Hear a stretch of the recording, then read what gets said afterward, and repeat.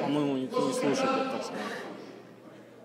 Он тетки сидит, что-то болтает там. Posseda palabra de un espectáculo discordance. Все, короче, заседание окончено.